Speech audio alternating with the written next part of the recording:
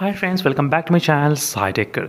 In this I'm going to show you how you can actually register for the early access Realme UI 3.0 update in the Realme GT Neo 2 device.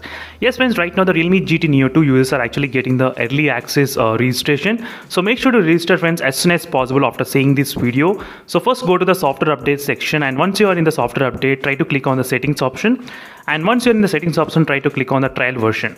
So here you will be able to see the early access option which will be available as you can see here. So right now I did apply for the early access because this will be the limited slots only. So once the early access has been completely filled, you won't be able to see any options. In case, in case if you are seeing any kind of options like uh, no test available, as you can see, this is a message you will be getting. So if you get this message, that means all the slots are completely full in the early access. So there is no update. You, you won't get any kind of uh, early access update. You need to wait for second batch. So once you click on the early access, you will get this kind of page, which will be the application notice. All these things you will be able to uh, see here. So uh, application, uh, latest software uh, features and everything will be displayed.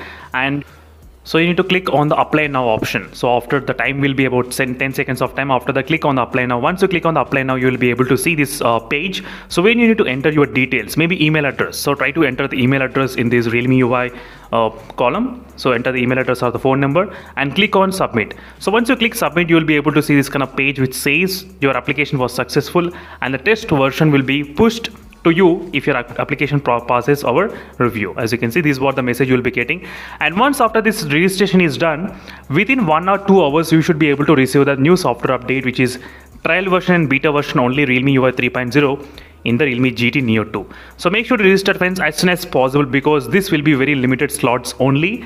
I'm saying one more time. In case after clicking on the settings and after clicking on the trial version, if you cannot find any early access option, that means the slots are completely full. If you ask me when the slots will open, I don't have that answer because I don't work for the Realme. I don't have any those kind of information. But make sure to register as soon as possible. So this way you'll be able to register and thank you for watching this video and stay tuned for more updates and in case if you're having any other queries let me know in the comment section below. As soon as I get the Realme UI 3.0 I'll be able to test it out in the Realme GT Neo 2 as soon as possible. Meanwhile signing off friends thank you for watching until then stay tuned. Bye.